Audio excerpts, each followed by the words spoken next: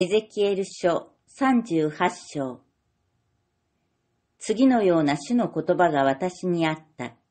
人の子よ、メシェクとトバルの大主張である、マゴクの地のゴグに顔を向け、彼に予言せよ。神である主はこう言われる。メシェクとトバルの大主張であるゴグよ。今、私はお前を敵とする。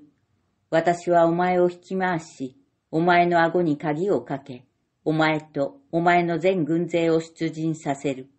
それは皆、完全に武装した馬や騎兵、大盾と盾を持ち、皆剣を取る大集団だ。ペルシアとクシュとプテも、彼らと共にいて、皆盾を持ち、兜をつけている。ゴメルとそのすべての軍隊、北の果てのベテ、トガマルと、そのすべての軍隊、それに多くの国々の民が、お前と共にいる。備えをせよ。お前も、お前のもとに召集された全集団も構えよ。お前は彼らを統率せよ。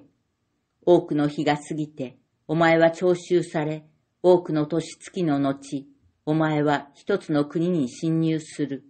そこは剣から立ち直り、多くの国々の民の中から、久しく廃墟であったイスラエルの山々に集められた者たちの国である。その民は国々の民の中から導き出され、皆安らかに住んでいる。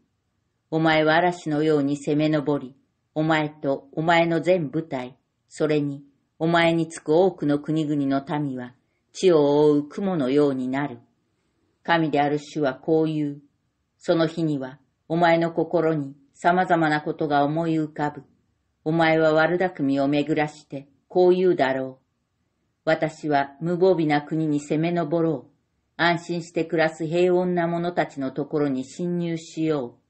彼らは皆城壁もなく住んでいる。勘抜きも門もないと。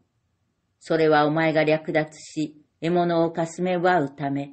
また、今は人の住むようになった廃墟と、国々から集められて、地の中心に住み、家畜と財産を所有した民とに向かって手を伸ばすためだ。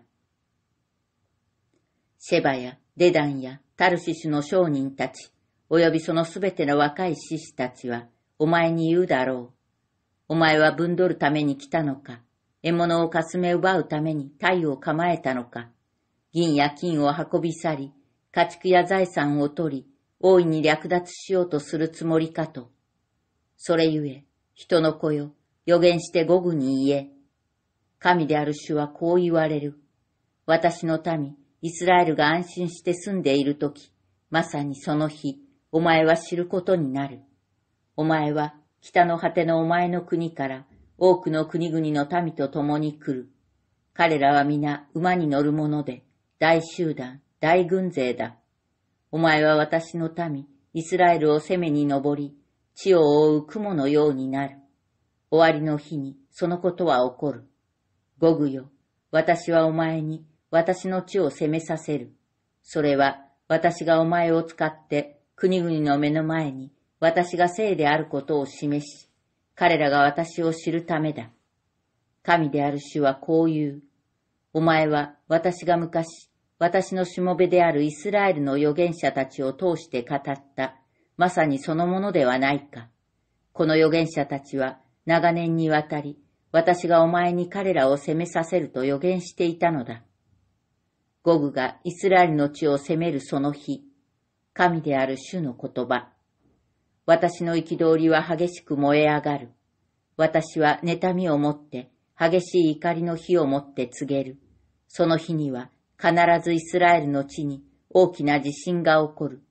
海の魚、空の鳥、野の獣、地面を這うすべてのもの、地上のすべての人間は、私の前で震え上がり、山々は覆り、崖は落ち、すべての城壁は地に倒れる。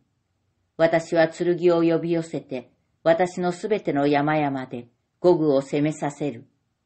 神である主の言葉。剣による同士討ちが起こる。